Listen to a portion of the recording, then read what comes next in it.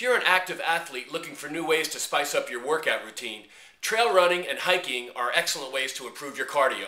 Here in LA, there are scores of parks and recreational areas that are easily accessible. Here's a trail in Pacific Palisades you definitely want to check out. At the intersection of Sunset and Temescal Canyon is Temescal Gateway Park, open to the public since 1995. The park features 141 acres of oak and sycamore covered canyons, ridgetop views, and access to miles of trails in Topanga and Will Rogers State Parks.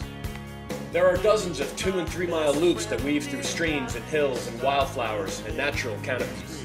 Trails weave through all sorts of terrain, and some of the spots are steep and very challenging. As you make your way to the top, the views improve dramatically. At the summit, there are panoramic views from Malibu all the way to downtown, and if you're motivated, you can go see the Skull Rock. On the way down, you'll find the waterfall and the rustic metal bridge that crosses the stream. At the park junction, there are rangers and mats and clean bathrooms, but beware the photo enforced stop sign. It's an absolute killer.